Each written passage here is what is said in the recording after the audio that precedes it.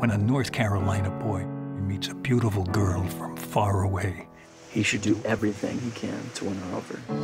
And if he does, his life will be a portrait of happiness. Hey, Mark. The story is about four very different people from two different times one in the 40s, one in present day. And it's about those people falling in love and sacrifice. What am I in for here? We'll see. When Sophia first meets Luke, it's sort of by happenstance, but she's intrigued. Hey! Keep it.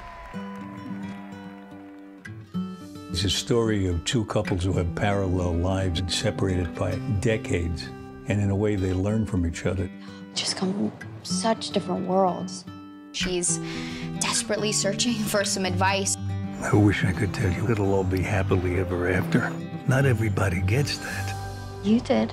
It wasn't that simple. Although times change and people change, love never does, and the story of love and how people fall in love. Promise me you'll come back. I promise. The wonderful thing about these two stories is that it's all about sacrifice for love. They're motivated by their own will. Luke, you need to stop, or next time you're more likely going to pick him up at the morgue. I can't be with someone if every time they walk out the door, I don't know if I'm gonna see them again. I just want you to be happy. I just don't know how to make this work. Love requires sacrifice. This is my life. It's all I know. I Can't do this anymore. But it's worth it.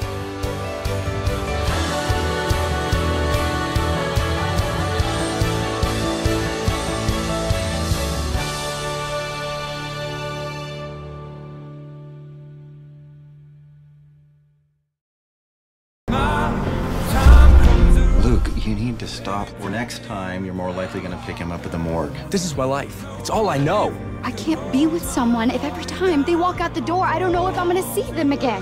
Promise me it'll come back. I promise.